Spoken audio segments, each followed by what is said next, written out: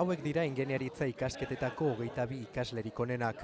Ikasten ari diren edo ikasi duten titulazioan kurtsoko espedienterik bikainena lortu dutelako jaso dute idon saria.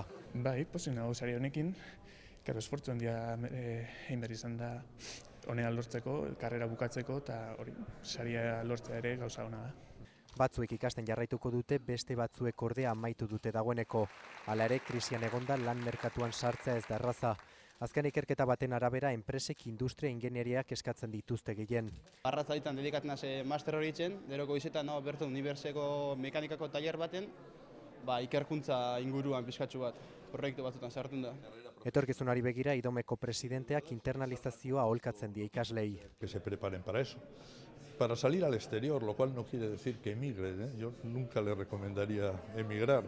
Orain arte lortu dutena ez da marka makala, baina hemendik aurrera beste hainbat erronkari egin beharko diote aurre. Guk sorterik onen opa diegu.